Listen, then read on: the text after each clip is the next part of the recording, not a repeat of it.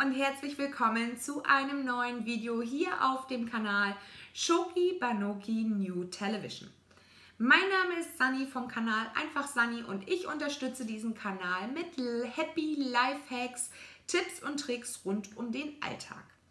Heute möchte ich dir eine ganz einfache und effektive Sparmethode zeigen, wie du am Jahresende eine stattliche Summe zusammenbekommst. Los geht es nach dem Intro.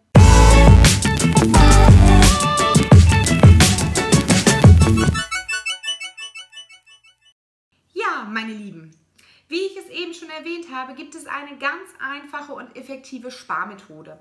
Diese nennt sich die 52-Wochen-Challenge und ist eigentlich recht einfach, denn du fängst nämlich an, die Beträge, die die Kalenderwoche zeigt, einfach zu sparen.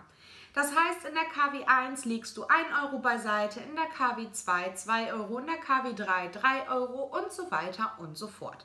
So hast du am Jahresende 1378 Euro gespart. Da mir diese Methode aber etwas ähm, ja, zu ballastartig im Dezember rüberkam, habe ich diese quasi etwas abgewandelt. Denn wie wir wissen, ist im Dezember auch Weihnachten und Nikolaus und man hat da eh schon erhöhte Ausgaben aufgrund der Weihnachtsgeschenke. Und deshalb habe ich angefangen, diese Methode ein bisschen abzuwandeln. Ich habe nämlich in der ersten Woche 1 Euro, den ich mir beiseite lege. In der zweiten Woche rolle ich quasi das Pferd von hinten auf und packe dann 52 Euro in die Spardose. In KW 3 sind es dann 2 Euro, in KW 4 51 Euro, in KW 5 3 Euro, in KW 6 dann 50 Euro und so weiter und so fort.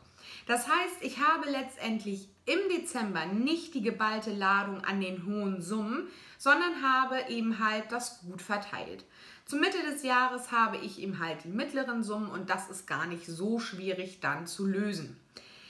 Wenn euch die Methode aber zu viel ist, dann könnt ihr sie natürlich auch abwandeln und sagen, okay, ich packe halt nur die Hälfte in die Spardose, was ja auch immer noch eine nette Summe für Weihnachten ist, um Weihnachtsgeschenke zu bezahlen.